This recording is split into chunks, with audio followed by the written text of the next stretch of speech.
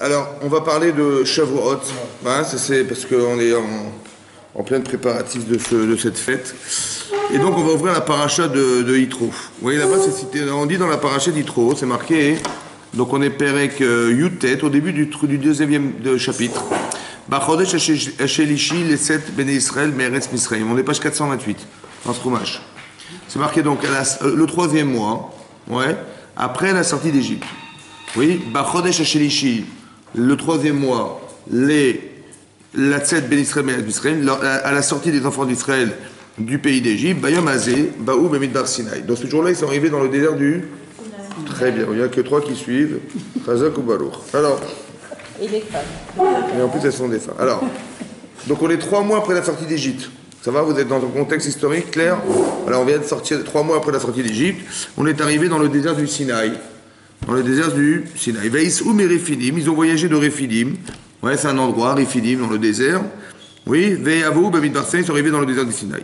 Vayachanou, Bamidbar. Vayachanou, ils ont campé. Une chanaya, c'est quoi une chanaya en hébreu Une chanaya, ça vous dit quelque chose, non? Un- Une chanaya, c'est un parking, ça va? Donc, ouais, la chanot, ça veut dire, ça sert se, se stopper. Ouais, ils ont campé dans le, dans le désert. Vaïchan Sham Israël, a campé là-bas Israël, Negedahar, face à la montagne. Vous avez remarqué qu'il y a un petit problème grammatical dans la phrase ou quoi C'est marqué Vayachanou Bamidbar. Ils ont campé, Vayachanou en hébreu, ils ont campé au pluriel. Vayichan, il a campé là-bas Israël, Negedahar, face à la montagne. Ouais, on a parlé, au début c'était un pluriel et c'est devenu un singulier. Alors Rashi explique que, en fait, le Midrash relève la question.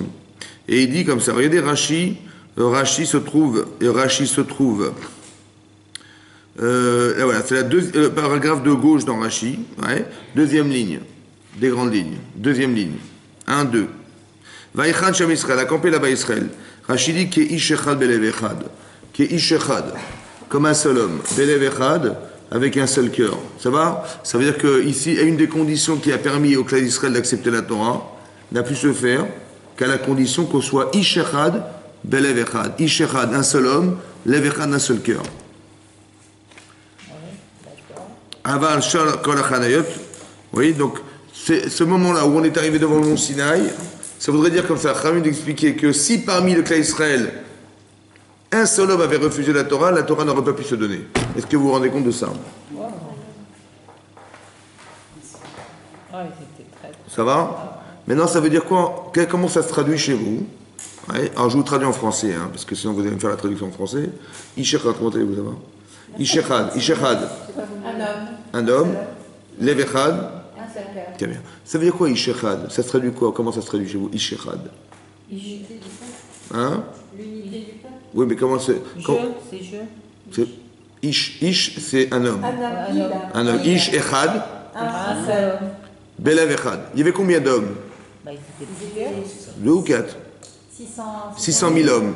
Donc tout ça. 600 ils 000, sont qu'un seul. un seul homme. C'est quoi un seul homme Bah, ça veut dire qu'ils sont solidaires, ils sont tous dans un même. C'est Moshe. Et Belev Echad, Et un seul cœur. C'est quoi la différence entre Ish Echad, solidaire, vous dites solidaire, et Lev Echad, C'est une seule pensée, une seule conviction, une seule kavana, une seule. Ben oui, c'est c'est Lev Echad.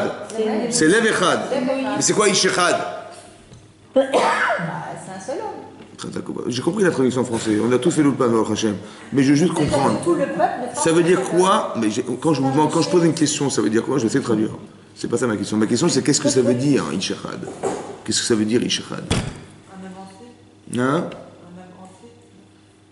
Mais il y a 600 000 hommes. C'est quoi un seul homme? C'est-à-dire que les 600 000 ne font que c'est comme s'ils étaient dans, dans un seul homme. Ça veut dire? C'est un seul homme qui va les représenter, on va dire. Ah bah c'est pas ça qui est marqué. Il est marqué, ils étaient 600 000, ça faisait comme un seul homme. Hein? C'est l'harmonie, Ils acceptaient. C'est quoi un seul homme ici? C'est quoi l'Evechad C'est quoi le lève le cœur. Le cœur. Mais c'est quoi? C'est les, sentiments. Ouais. C'est et, le, et le d'accord. ish, c'est quoi le ish? Ah, C'est le corps. Ah oui, on est dans ce qu'il Quand c'est qu'on voulait nous dire quoi Qu'est-ce qu'on voulait nous dire Essayez de comprendre. Que, le- l'esprit et le corps euh, en- en- ensemble. Mais pour qu'on puisse le faire de façon collective, est-ce qu'il faut déjà pas pouvoir le faire de façon personnelle Ouais. Ah oui. Ah oui. Maintenant, ça veut dire quoi d'être echad C'est quoi pour moi d'être un seul homme avec un seul cœur. Ah oui, j'ai compris. C'est ça, ça c'est l'harmonie, vous avez raison. Mais c'est la contradiction entre deux choses qui ont été mises en harmonie. En vérité, elles sont contradictoires. D'accord. Je vous explique comme ça. Écoutez-moi bien. Est-ce que c'est facile de vivre ensemble? Non. Très bien. Vous avez vu tout. La destruction du temple, elle s'est faite à cause de la haine gratuite. Ouais. C'est dur de vivre ensemble. C'est dur de se, c'est dur de savoir quoi faire de l'autre. C'est dur. Qu'est-ce que je vais faire de l'autre Je sais pas. Est-ce que je vais bien vivre avec lui Est-ce que je vais bien C'est dur. Ça va Dès qu'on est deux, ça, ça- ça pose un problème. Depuis qu'on est petit, dès qu'on est deux, ça pose un problème. Regardez entre frères et sœurs, quand on était petits, on s'arrachait les cheveux. Ça veut dire on ne savait pas quoi faire de l'autre. Ça va C'est déjà difficile de savoir quoi faire des autres. Ça, c'est difficile à voir. Mais si j'arrive à créer l'harmonie avec mon frère et ma soeur et avec mes- ma famille, c'est- un, un plaisir de vivre ensemble. Mais peut-être pour le comprendre, peut-être déjà, peut-être qu'il faut le comprendre avec soi-même. Ça veut dire d'être capable d'être echad. Ah oui. Est-ce que vous comprenez ça Bah oui. Hein, Comment C'est difficile de comprendre. Ah, Je vous explique ma problématique. Ma, ma problématique, quand je, appelle- quand je dis qu'il faut être echad, il faut être un avec soi-même, ça veut dire que j'ai deux tendances, deux tendances qui s'opposent. En vérité, en moi, il y a des choses qui se, qui se tiraillent, Ah oui, qui s'opposent. Ça va En vérité. Quand je dis, quand j'ai un problème, j'ai un problème, c'est que deux choses se tiraillent en moi. Ouais. Et je ne sais pas quoi faire. Maintenant, il faut savoir en général, en très grande généralité, ce qui se tiraille en moi, c'est mon désir corporel et ma conscience derrière. Et je ne sais pas quoi faire avec. Ça va, je ne sais plus quoi, je sais plus quoi choisir. Je suis tendance, j'ai ces deux tendances. Il faut que j'arrive à faire de moi Echad. En fait, comme c'est que pour accepter la Torah, il fallait qu'on soit Echad. Est-ce que vous comprenez? Quand je dis Echad, ça veut dire qu'il y ait une harmonie dans moi. Parce que je ne peux pas accepter la Torah et que la, la Torah me pose un problème. Parce que la Torah, c'est la vérité. Et mon corps, il me dit, mais si c'est ça la vérité, mais comment je vais faire? Vous avez compris? Et ça me pose un problème. C'est une, une masque, c'est sur ma tête comme ça qui me tombe dessus. Et je dis, mais moi, j'aimerais bien accepter la Torah, mais j'ai du mal à l'accepter. Parce qu'il y a tellement de, de- de- contraintes personnelles d'arriver à faire. il y a tellement de choses qui s'opposent à, à- mon éducation, à ma façon d'être, à ma façon de penser, à ma façon de ressentir, à ma façon de penser. tout, tout s'oppose. C'est dur. Alors comment je vais faire Ça va, c'est ça mon problème. Ça va Ce problème que je vous pose, c'est le problème de la Kabbalah Torah, en fait. C'est ça qui est marqué ici. La Kabbalah Torah, ça veut dire d'accepter la Torah. Le plus compliqué dans la vie, vous savez, c'est quoi C'est accepter la Torah. C'est d'accepter la Torah. C'est- Parce que quand on a accepté la Torah, c'est facile de faire. Ouais.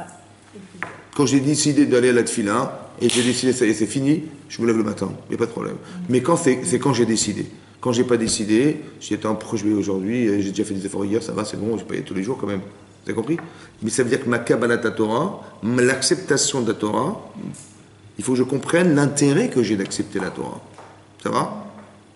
En fait, l'intérêt, dans l'histoire du clan Israël à l'époque, il a été créé par Hachem, l'intérêt.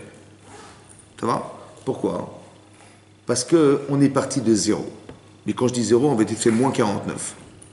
Il faut savoir que le Kham l'expliquait, on est arrivé à un niveau de déchancement moral tel qu'on était au seuil de la fracture. Quand on dit 49 degrés de Touma ou de Gdusha, oui, on a déjà expliqué ces, notions-là de Touma. On a expliqué que la Touma, c'est l'entité de ce qui doit vivre. Ça va? Donc quand je n'ai pas envie de faire, je n'existe pas. Quand je, n'ai- quand je suis bloqué par quelque chose, quand je dis mais comment je vais faire Si je dois faire ça, ça ne pourra pas marcher. je fais ça. Finalement, qu'est-ce que je fais Je fais rien. Ça va? Donc en fait, toute l'appréhension que j'ai dans ma vie me bloque, m'empêche d'exister. C'est ça mon problème. Donc qu'est-ce qu'il faut faire? Il faut que je me solutionne ou que je me rassure, solutionne ou rassurer, pour dire voilà, c'est bon, je suis rassuré, je vais, vais faire. Ça va? Et tous ces problèmes que j'avais en vérité, ils ont été solutionnés. À partir de là, il n'y a rien qui bloque, et hop, j'avance et je- je- j'évolue dans ma vie. Mais c'est souvent ça qui m'empêche d'avancer, vous comprenez? C'est toutes les questions que je n'ai pas solutionnées qui m'empêchent d'avancer. C'est pour ça qu'on avait fait un cours en expliquant que c'est très important pendant toute la période de Pessah Shavuot de se questionner sur savoir, mais qu'est-ce qui fait que. Ça va? Qu'est-ce qui fait que je dois faire et qu'est-ce qui fait que je n'arrive pas, à- à- à- pas à aboutir à ce que j'ai envie de faire? Et vous allez comprendre qu'en fait, ce tiraillement-là qu'on a en fait entre la volonté d'exercer quelque chose et celle qui nous empêche de l'obtenir, c'est souvent parce que c'est un problème de caractère, de charisme, de, volonté, de, de- d'encouragement chez soi et toutes ces choses-là qui font que ça bloque. Ça va? C'est ça qui bloque. Donc c'est ça qu'il faut réfléchir. C'est à ça. Où est-ce qu'il y a des, fausses et il y a des trous? Où est-ce qu'il y a des, failles dans, mon raisonnement? Où est-ce qu'il y a des failles dans ma façon d'être? Où est-ce qu'il y a des carences dans mon caractère, etc. qui font que ben, j'arrive pas. Vous avez compris? Voilà. On m'a demandé de faire un truc, mais est-ce que j'aurai le courage? Euh, Attendez, euh, je suis pas le rabbin moi non plus. Je pas. Ou alors euh, vous avez tous ces arguments qui font qu'on se bloque en fait. Ça va? Essayez de comprendre qu'est-ce qu'on a à gagner de ne pas faire et qu'est-ce qu'on a à perdre de ne pas faire. Ce calcul-là, il est important.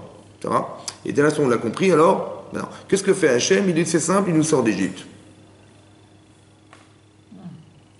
Bon, je ne sais pas si vous vous rendez compte de ce que ça veut dire. Ah oui. Bah, on était des esclaves à jamais. On aurait pu rester de nos têtes des esclaves. Bah oui. Et Hachem nous sauve. Ça veut dire qu'il nous sort d'Égypte. Bon, au bout de trois jours, on se retrouve dans la mer Rouge. Et là, on voit les Égyptiens arriver. Terminé, c'est fini. On peut arrêter, c'est bon, on s'arrête là.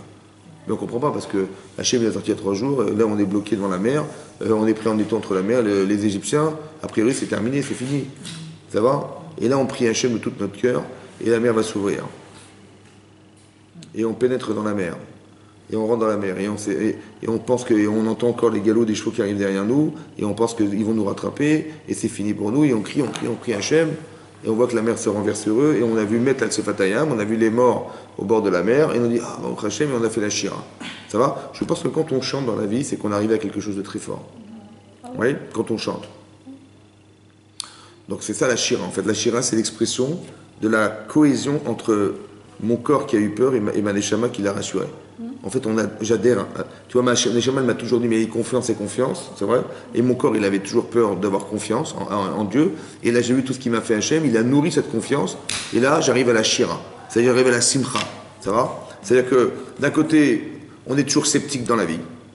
Quand on vous dit, mais vous inquiétez pas, c'est bon, combien de fois vous vous répétez, ça va, Dieu il est là, il va vous aider, nanana. Donc c'est intellectuellement, on sait que Dieu est grand et qu'il nous aime et on est ses, et on est ses enfants, voilà, ça c'est intellectuellement. Mais est-ce que physiquement vous ressentez sincèrement?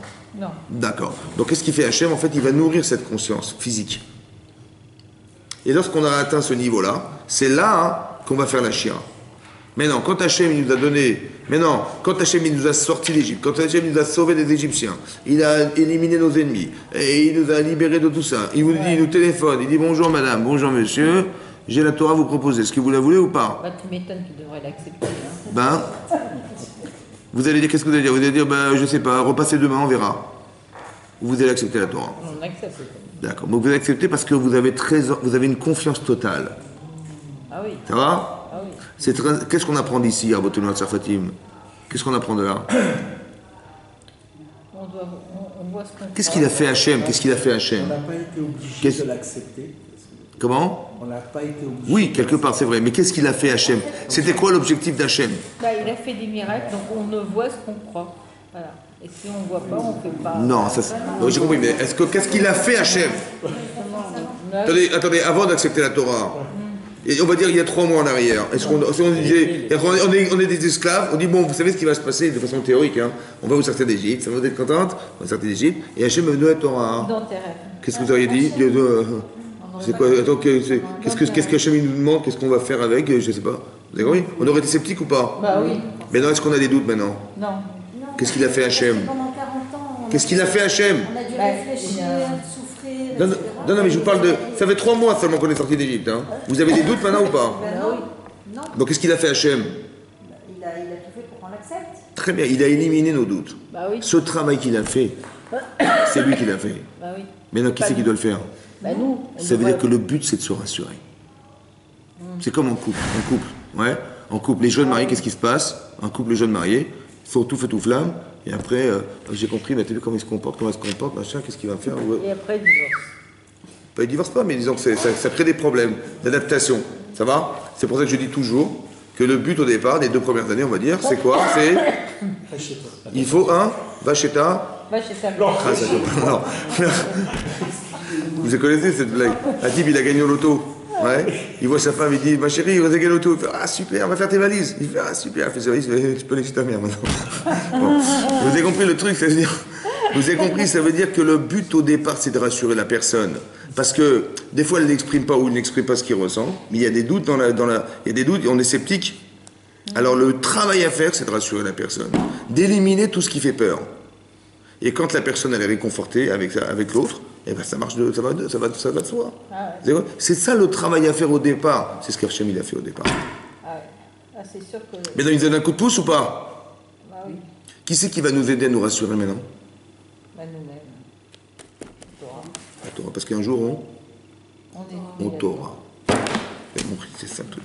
Ça veut dire qu'il faut, très, il faut comprendre que la Torah, c'est un tablin, c'est une, solution. Comme ça, on a, c'est une solution. fait les rabbins là, après la Shoah, pour essayer de les de les faire revenir. c'est- Bah, c'est le travail qu'a fait Rabbi Akiba déjà. Avant les rabbins euh, des bois, il y avait un certain rabbin qui s'appelait Rabbi Akiba, ouais, qui lui a vécu la, la destruction du temple. Alors, je sais pas si vous vous rendez compte, c'est encore pire que la chose. ça. On avait Hachem avec nous et tout a détruit. C'est pire, ouais. Il y a des millions, il y a, un million de morts. Il y a eu un million de morts pendant la guerre de, pendant la, comment vous dire, un million de morts et tous ceux qui étaient survivants sont devenus des esclaves, juifs. C'est pesant quand même, ouais. Il fallait réconforter les gens, dire euh, Hachem ne nous a pas abandonné. C'est un vrai travail de fond qu'il a fait euh, Rabbi Akiva. De rassurer les gens. Ça veut dire qu'il faut. euh, C'est ça tout le travail. Maintenant, ce que je vous dis là, c'est ça. Peut-être que l'idée, au fond, c'est d'expliquer ça, d'être rassuré. Pourquoi je vous dis ça? Parce qu'il y, a un- Midrash Rabbah qui dit, qu'on a déjà cité, qui dit comme ça que Hachem, avant de proposer la Torah au clan d'Israël, il a proposé au peuple du monde. Ça va? Il leur a dit Est-ce que vous acceptez la Torah? Ils ont dit Maktiv Ba. Ça veut dire Maktiv Ba. Qu'est-ce qui est marqué dans la Torah? Il a, proposé la Torah aux Béné Esav, aux enfants des Esav. Ils ont dit Vous la Torah ou pas? Voilà, j'ai le Hémet à vous proposer, c'est ce que vous Torah. Ils ont dit Maktiv Ba. Qu'est-ce qui est marqué dedans? Et il leur a dit euh, Il leur a dit marqué l'Otir Tsar. Il c'est un des commandements, des dix commandements de la Torah. Il ne faut pas assassiner les gens. Ça se fait pas de tuer les gens. Bon. Ils ont dit Ah, mais la Torah, elle est mérida. Elle témoigne de la Torah. Que Yitzhak, il a fait une bracha à Esav et il lui a dit Becher Becha Tirye. Tu vivras par le sabre. C'est la bracha qu'il a donnée à son fils. Tu vivras par le sabre. Ça veut dire quoi? C'est pas pour faire un. Pour jouer aux épées. C'était pour tuer des gens. Donc on, nous, on porte en nous le, crime. C'est comme ça. On, on fonctionne comme ça. Bon. Il a dit, après il a dit ok. Donc il a été voir les Bnei Ishmaël, les enfants d'Ishmaël. Il a dit, vous la Torah? Ils ont dit, ils ont dit. Il y a marqué quoi dans la Torah? Dis-moi ce qui est marqué. Il a dit, ben, il y a marqué Lotignov. Ouais, Lotignov, ça veut dire faut pas voler. L'Otachmod, l'Otachmod ne convoite pas. L'Otachmod, Chomed, ça veut dire quoi Chomed? Convoiter. Mohamed. Non, vous avez compris, c'est ça. Donc l'Otachmod, il ne faut pas convoiter, parce que le vol, il vient de la convoitise au départ. Il est marqué l'Octignov. Ils ont dit, ah, on pas, Avram, la Torah est Meïda, la Torah elle témoigne, que Avram il a dit à Ishmael, il y a Dobakol, il avait la main dans tout. Ça veut dire que la Torah elle-même, elle dit qu'on est comme ça. C'est Avram qui nous a dit qu'on était comme ça, on peut changer. Bon, il a dit, bah, donne à qui tu penses, donne au cas Israël. Hachem, il a donné la Torah, il a proposé au cas Israël, ils ont accepté, ils ont dit, là, c'est Vénishma, ils ont accepté. Ça va? Ils savaient qu'il y avait marqué dans la Torah ou ils ne savaient pas? Les, les Béné et savent. Oui. Ils savaient ou pas? Ah oui, parce qu'ils ont- Ben oui, parce qu'ils ont dit, euh, Abraham il a dit ça ou Israël il a dit ça. Ça va? Ils savaient ou ils ne savaient pas? Donc c'est quoi la question euh, Mais qu'est-ce qui est marqué dans la Torah? Ils savaient ou ils ne savaient pas? Ils ont dit, mais qu'est-ce qui est marqué dans la Torah? Dis-moi ce qui est marqué. Bah, Qu'est-ce qu'elle attend de nous, la Torah Qu'est-ce qu'elle veut de nous Très bien. Donc ils savaient ce qui est marqué dedans ou pas? Très bien. Alors c'est quoi la question? Qu'est-ce qui est marqué dans la Torah? Bah, Ils avaient des doutes. Très bien. Ils ont solutionné leurs doutes? Non. Ils ont renforcé en disant, de toute façon, on ne changera jamais. La Torah, elle a témoigné qu'on ne pourra pas changer. Puisqu'Abraham, il a dit qu'on était des voleurs, et l'autre, il a dit on était des assassins. La Torah, elle a, été, elle a dit ça ou pas? Bon, il le savait, Hachem, vous ne le savez pas? Oui. Oui, il savait ou pas? Bah oui. Mais bien sûr, après il a proposé. Pour les renforcer dans leur euh, Dans leur- suspicion. Ah ben non. Non. Pour moi, il l'a fait pour euh, montrer au, mon- au peuple, à tous les peuples, Mhm. en fait, il avait proposé, c'est Mhm. c'est une trace. euh, Mais c'était sincère ou pas Ou J'étais une magouille.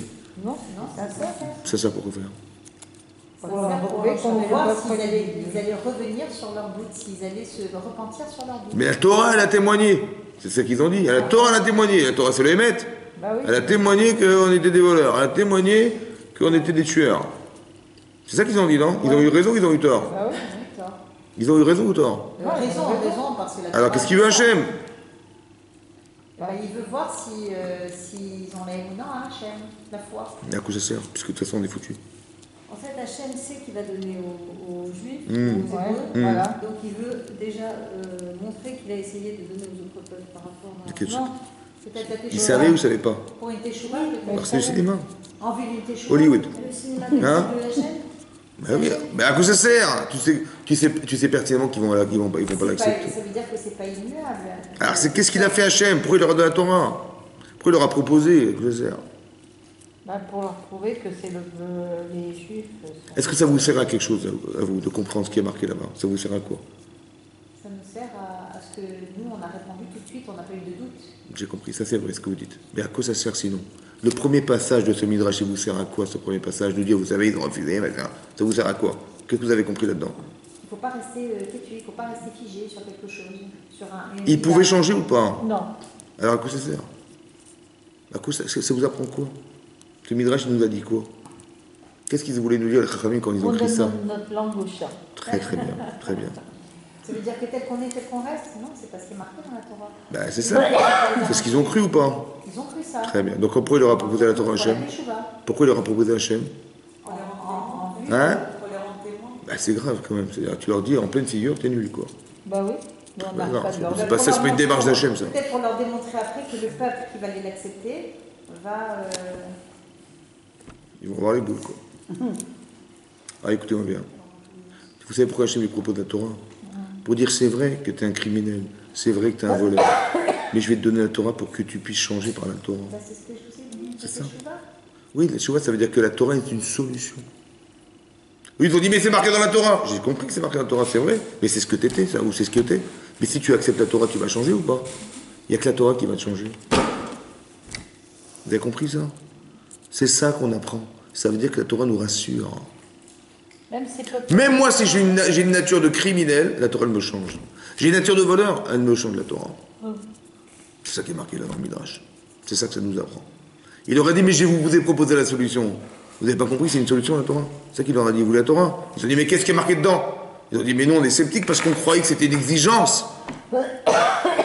Maxima, c'est la question que, qu'on se pose. Même nous, on se pose la même question, vous avez compris ou pas? La réponse, c'est que la Torah te solutionne ta vie. Si tu étudies la Torah sincèrement, mais tu verras, tu vas trouver des solutions à tes problèmes personnels. Tu vas trouver des solutions à ton Yetzer, tu vas trouver des solutions à ce qui va te réconforter. Tu vas, tu vas comprendre des choses que finalement, tu vas commencer à relativiser les choses. Ça va? Tu dis, ah bon, ah, moi je crois que c'est important, c'est pas important. Ça. Et ça, c'est très important, je crois que c'est rien. C'est ça, ça que tu vas comprendre. Mais ça ne peut pas s'apprendre tout seul. Donc la Torah est maître, ça veut dire qu'on nous donne des repères qui nous permettent de nous solutionner nous-mêmes. Ça veut dire, quand je vous parlais de se rassurer, c'est ça Donc quand je me suis rassuré, qu'est-ce que j'ai réussi à faire? J'ai appris la Torah, je me suis rassuré, qu'est-ce que j'ai gagné? J'ai gagné que je suis un. Je suis plus tiraillé. Quand si vous arrivez à rigoler de vos avérotes, si vous arrivez à en rire, c'est que vous avez gagné. Vous êtes echad. Quand on À rire de vos bêtises. Vous dites, mais comment j'ai pu faire ça C'est n'importe quoi, j'ai honte. Ça va Si vous arrivez à ça, c'est que vous avez solutionné quelque chose Ben, Vous avez gagné. Vous êtes echad. Ça, c'est tout le travail qu'a fait Hachem avant de nous donner la Torah. Il fallait qu'on soit Ishechad Bel Echad. Mais ça, c'est le travail qu'il a fait lui, ça va C'est comme le Baal euh, il se rend compte de ses erreurs. Il est tout flamme. Il a, une, grande envie, un- une véritable volonté de changer, c'est vrai. Ouais. Mais ça, ça vient d'Hachem. C'est une aide d'Hachem.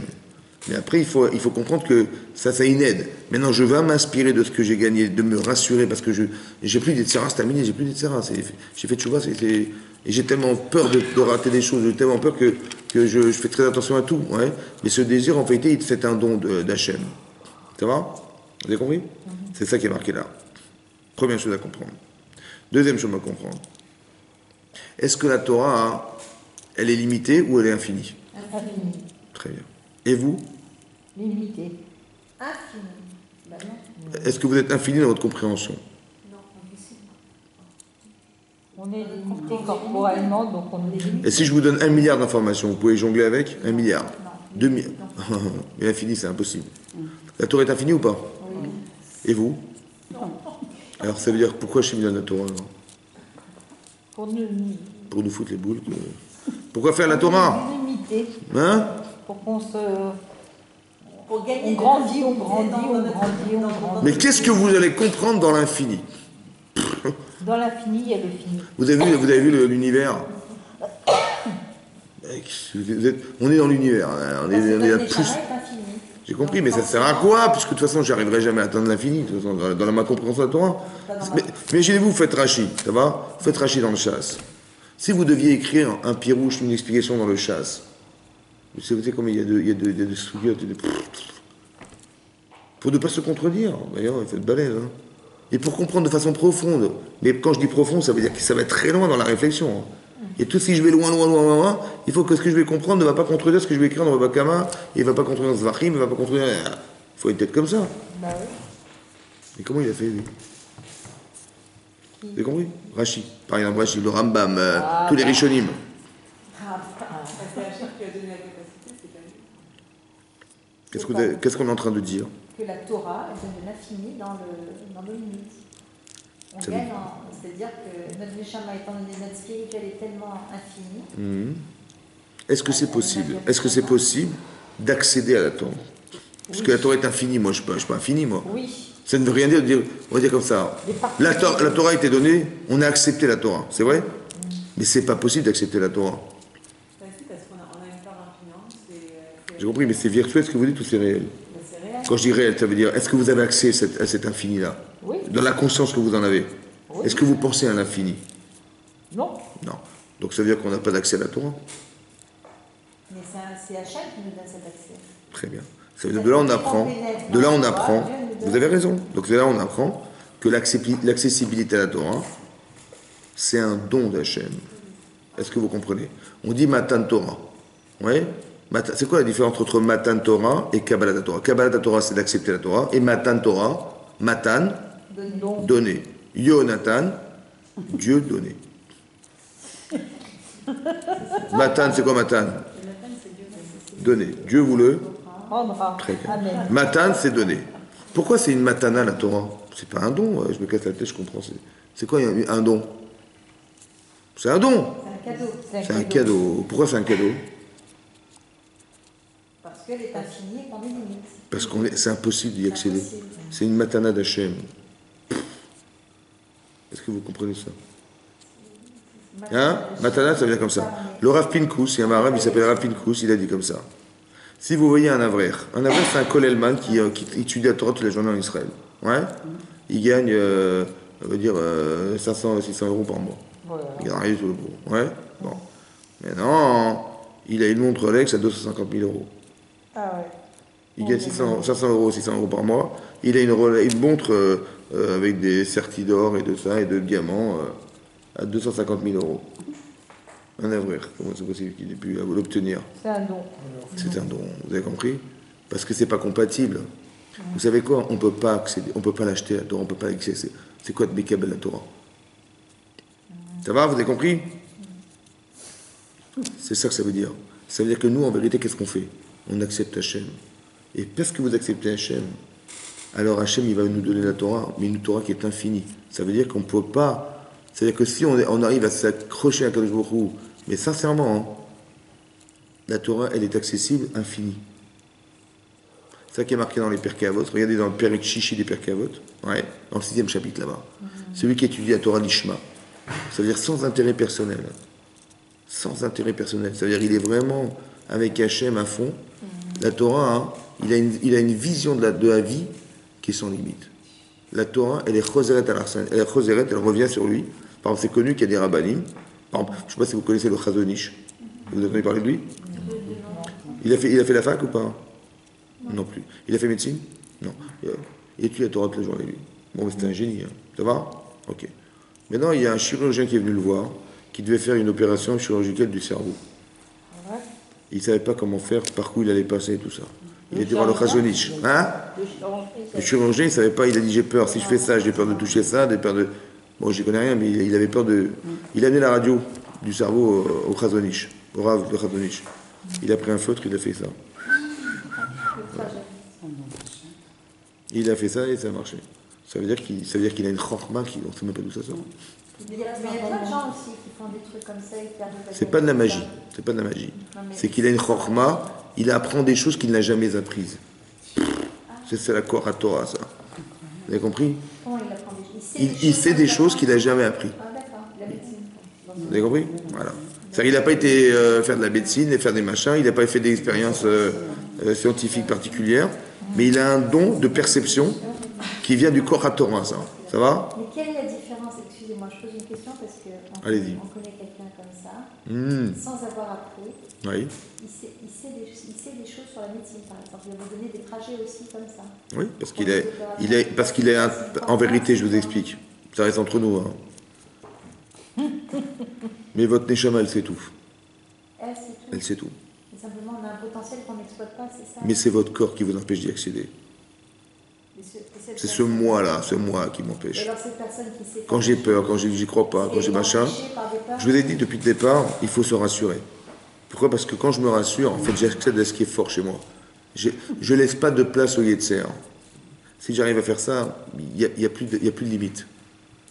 Donc, ça veut dire que c'est possible de faire. Par exemple, le Midrash Rabbah dit, ouais, le Midrash Rabbah il dit que euh, quand Moshe Rabbeinu il est- il est monté euh, pour apprendre la Torah avec Hachem, ouais, au bout des 40 jours, il a dit j'ai rien retenu.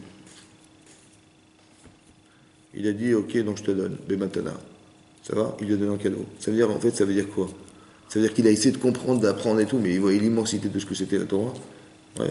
Quand vous faites, quand vous faites, on fait de la, on fait la, on fait la, la, la paracha, on comprend la paracha, ça va, vous avez compris? Mais vous avez compris quoi? Vous avez compris le découpage des mots, ça va? Mais il y a plusieurs façons de lire la Torah. Par exemple, vous allez comprendre ce que je vais vous dire.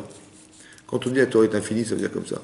Il y a Gemara, la Gemara dans Shabbat. Elle dit là-bas, la elle dit que quand Hachem il a voulu donner la Torah à Moshe Rabbeinu, les anges sont intervenus. Et ils ont dit Ma Enoch qui nous. C'est qui l'homme pour que tu te souviennes de lui Que tu veuilles lui donner la Torah? Ils font, des bêtises. Ça va? Alors Hachem il s'est tourné vers Moshe, il a dit bah, Dis-leur quelque chose. Il leur a dit euh, Le premier commandement de la Torah c'est quoi? Anochi Hachem Elokecha, je suis ton Dieu, Hachem Otsekira Israël, qui t'ai fait sortir d'Égypte. Il dit Vous êtes sorti d'Égypte vous ou pas? Il dit Mais non. Bon, Kaved et Avicha euh, respecte ton père et ta mère, vous avez des parents? Dit non. Euh, ils ont dit euh, euh, le ch- euh, Shemor et Yom Shabbat les Kadesho, euh, honore le, Shabbat pour le sanctifier. Vous avez, vous avez le Shabbat, vous avez un espace-temps Non? Il dit Vous voyez bien que c'est pas. Il dit Ah oui, c'est vrai, ils ont raison. Et donc ils ont, ils ont donné des cadeaux, les anges ont donné des cadeaux à Moshe Rabbeinu. Ils connaissaient la Torah ou pas les anges? Non. Mais bien sûr qu'ils ont dit à quoi ça sert que tu leur donnes, il faut faire, faire des bêtises. Il la connaissait ou pas? Et quand il dit mais il y a marqué euh, rappelle-toi du Shabbat, euh, respecte ton père et ta mère, il dit ah oui oui c'est vrai, tiens c'est vrai. Quoi, ils, ils sont un peu légers quand même, non? C'est un peu léger comme. euh, Comment vous avez compris ça? Très bien. C'est-à-dire que nous on a une lecture parce qu'on est des êtres humains.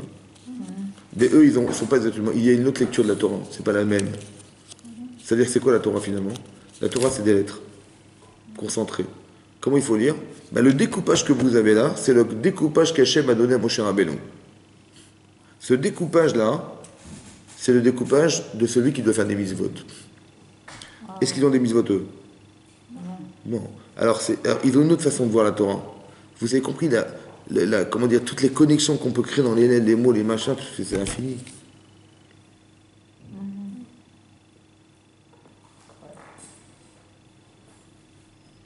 Mais c'est pour ça que c'est une matana. Mais les anges euh, qui lisaient la Torah, ils ne voyaient pas les mitzvot dans les- la Torah Mais non, puisqu'ils ne sont pas, ils sont pas adaptés à l'acte. Ils n'ont pas d'acte.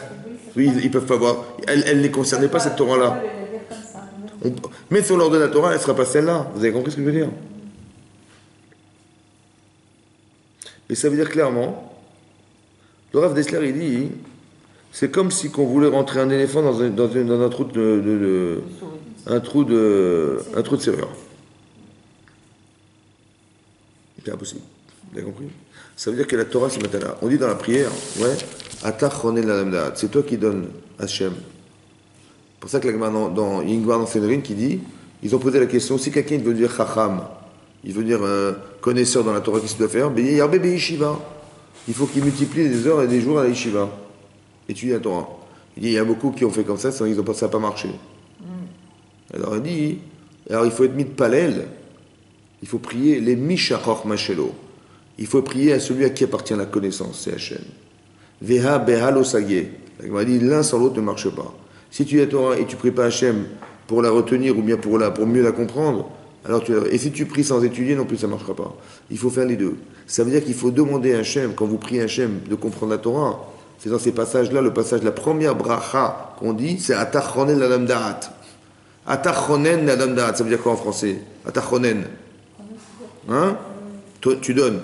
Mechonen, ça vient de. Quand va être Hanan la grâce, non c'est Chonen, c'est Chinam.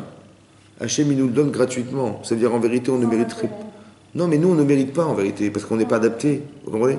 Ce qu'il nous donne, c'est gratuit. Que si vous avez accès à la Torah, ça dépend que d'une chose. Il faut que vous l'acceptiez. Et l'intensité d'acceptation va vous permettre d'accéder plus encore à la Torah. C'est ça la Kabbalah Torah.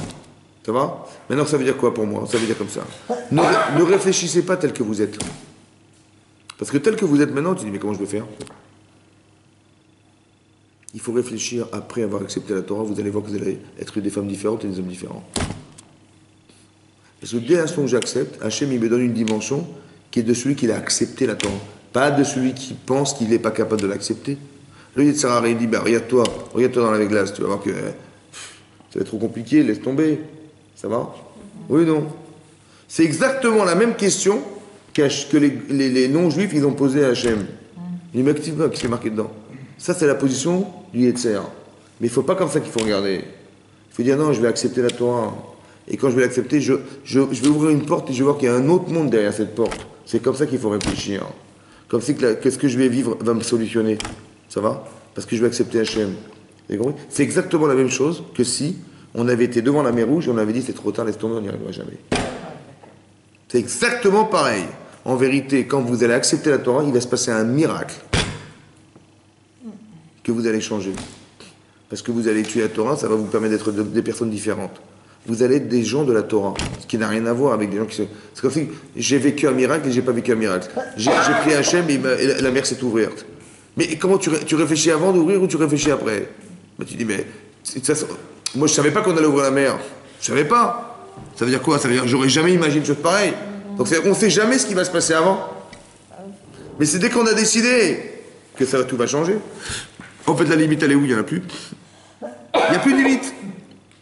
Parce la limite, c'est.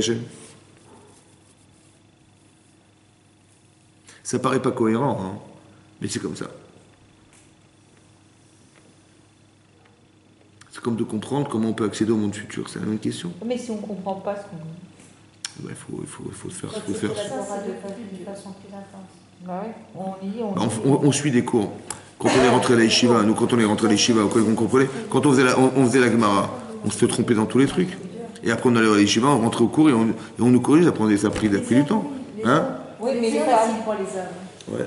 Les hommes, ils ont la yeshiva, ils ont les cours, etc. Mais hier, j'ai demandé à un rave, parce que j'étais à un cours, Oui. il me dit euh, demandez à la rabbinite si elle veut vous donner les cours. Voilà. Mais, ben oui, mais c'est pour ça qu'il y a, il y a des séminaires. Exemple, les filles, elles passent le bac, après, après qu'elles passent le bac, un an, elles vont au séminaire, c'est fondamental. On n'a pas ça, non. Mais on n'a alors, pas vous avez des cours. Vous avez des cours dans Paris, il y a des cours de, pour femmes dans Paris. Oui, mais pourquoi pour femmes de- Hein De prière, non, il n'y a pas de Parce qu'on joue pas au ping-pong avec des hommes. Je. Mais c'est parce que. Hein Mais bien sûr, moi je donne un cours à Henri Murger par exemple, un cours de femmes. Ah Un cours sur le Rav Dessler. Ah bon Ah oui Quel jour Le. le ben, je l'ai donné le mardi. Le mardi, tous les mardis. À quelle heure À quelle heure? De 10h30 à 11h30. Ah bah oui, mais il ne faut pas Sur du travailler. Rav Dessler. Hein? Faut pas travailler. Oui, j'ai compris, mais après il y a des femmes qui travaillent pas. Elles, elles se permettent de faire ça. Ah oui. Ouais. Ouais, vous avez compris Mais c'est-à-dire que vous allez voir que si vous allez au cours par exemple. Avant. Excusez-moi, excusez-moi. Parce que c'est pas. 10h30, 11h30. Vous ne sentez pas enregistré Non, parce que non, parce que ça fait pas longtemps que j'ai fait, ça fait que deux ans ou trois ans que j'ai commencé. Je. Et vous avez. euh, Vous les enregistrez non Ouais, ils sont enregistrés, ouais. Ils sont sur le net. Ah bon C'est le net, c'est quoi le- exemple Là, vous marquez, si vous vous abonnez, vous prenez du savon. Et il faut s'abonner à YouTube.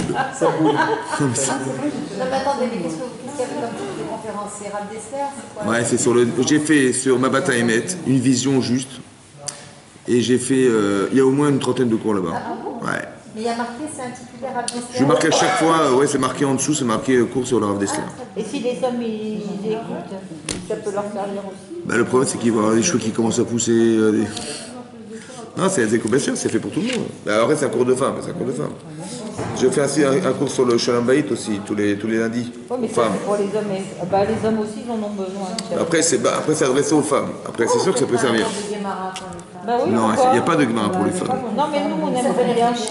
Ah, c'est clair, ouais. Maintenant, écoutez-moi bien, moi que je m'énerve. Alors, c'est comme ça, vous avez compris La Kabbalah Torah, vous avez compris Il faut être Mekabel la Torah. Et bien sûr que d'accepter la Torah, c'est ça. Ça veut dire qu'il faut accepter la Torah. Ok? Maintenant, Vaïchan Israël et Gedahar, ils ont campé Israël face à la montagne. Ça veut dire que, est-ce que toutes les personnes qui étaient présentes, elles étaient différentes? Bien sûr. Bien sûr. Mais il fallait être Echad. Mais comment on arrive à se conjuguer dans nos différences?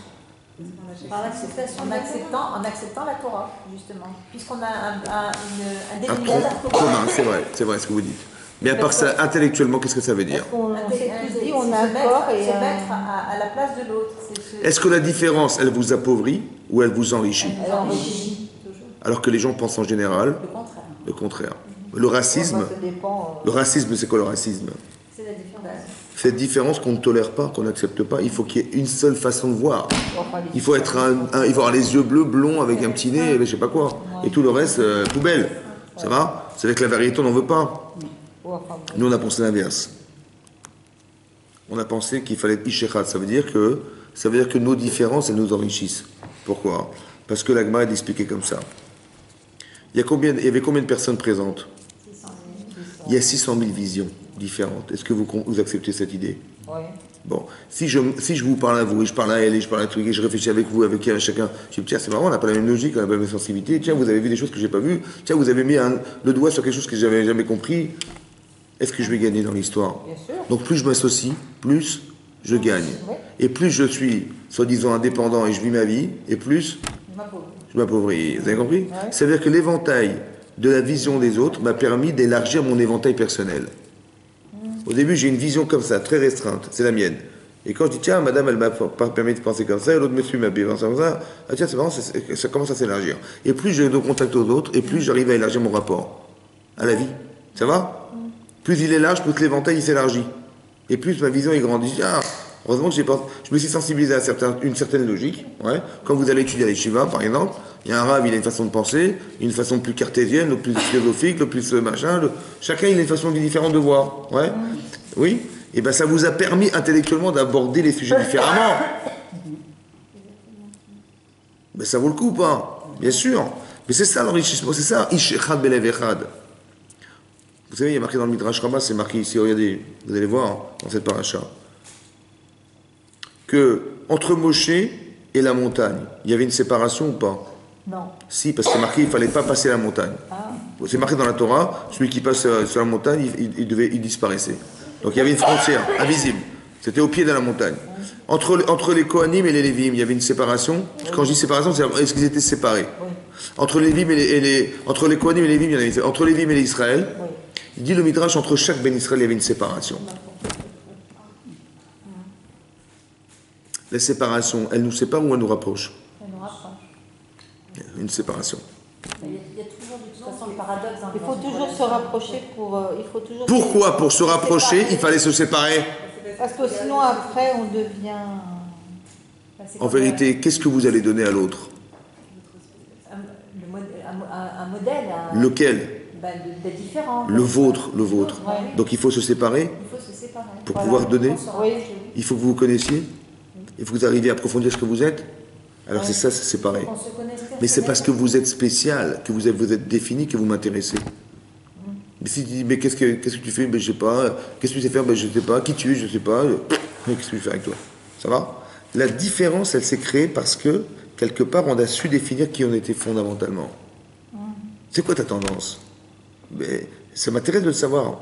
Et ça t'intéresse de le savoir aussi, parce que chacun va se définir selon, son- selon sa couleur, selon sa façon d'être, selon son caractère, ses avantages. Mais il faut les définir ou pas? C'est ça qui est marqué dans le Midrash. Donc il faut que la personne déjà se connaisse très très bien. Très bien, c'est ça séparé. Vous avez compris? Pour qu'ensuite on puisse se retrouver. C'est comme dans les mariages. Normalement, est-ce qu'on danse avec des femmes? Non. D'accord. Pourquoi? Pourquoi il ne faut pas danser avec des femmes Pourquoi quel est le problème